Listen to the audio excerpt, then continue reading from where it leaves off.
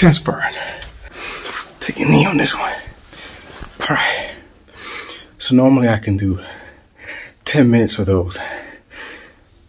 I'm, I don't think I did a minute and a half. Normally I can do 150, 200 push-ups a day.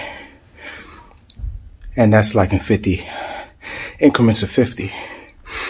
Whew. I'm not even touching 18 push-ups. And I'm not even doing 50 push-ups a day. So post-COVID, oh, post-COVID, it's a challenge. The lungs are burning. And uh, that's a challenge with COVID and recovery. It's your lungs, burns. I don't have the same lung capacity I used to have. Now, I did work out yesterday. And we get, when I did get some, some, wanna say what's up? Say hi, champ. Yeah, I'm fine, good. Tell him you're fine. He just wants to play. So, as far as day 23, this is day 23. I'm surviving COVID, living with COVID. And I'm getting my workout on because I want to donate blood.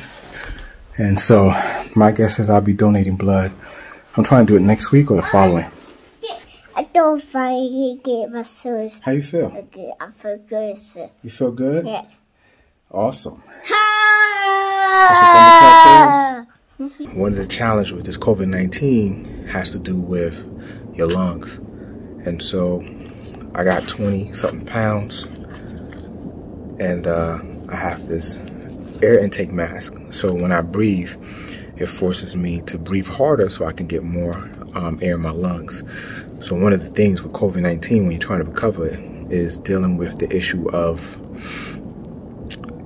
air, you know, lungs capacity. So I need to increase my lung capacity and I also need to um, make sure that, you know, I don't blood clot because the other challenge is blood clotting and, um, you know, aneurysms, uh, people can get heart attacks. Um, there's a lot, there's a list of stuff, um, you know, fluid in your lungs. So one of the ways to prevent um, or reduce high blood pressure or blood clotting is to run, walk. Um, and after this, I'm gonna take a baby aspirin, and so that way I make sure that you know I don't put myself in danger.